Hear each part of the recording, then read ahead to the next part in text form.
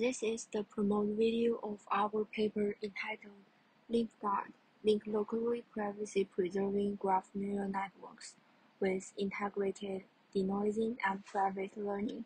I am Yuxin Qi, a PhD student of Shanghai Jiao Tong University. First, let's talk about the motivation of this work. Think of a scenario like a social network, such as Facebook. Users in Facebook act as nodes, providing the server with their friend relations and personal attributes. Then the Facebook server builds a GNN model using this information for the following tasks. And our focus lies in safeguarding the connections between nodes. The assumption is that node linkage is private and node data public. We realize the protection of sensitive linkage based on the link local differential privacy which involves perturbing the topology so that preventing attackers from inferring whether a specific edge exists in the training data. Although some work has existed this topic, we observe that existing work can be unified into two processes.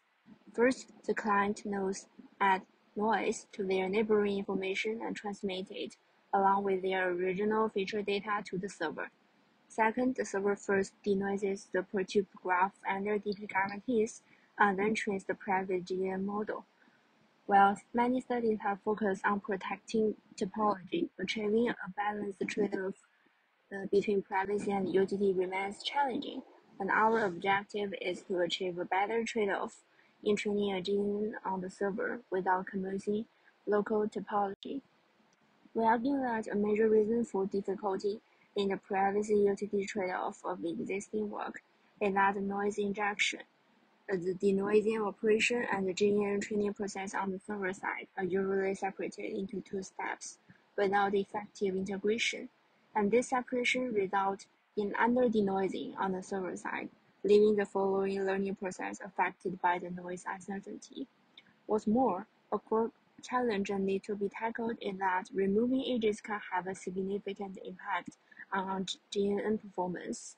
To solve the above concerns, we propose a novel approach that integrates denoising directly into GNN learning process under local DP.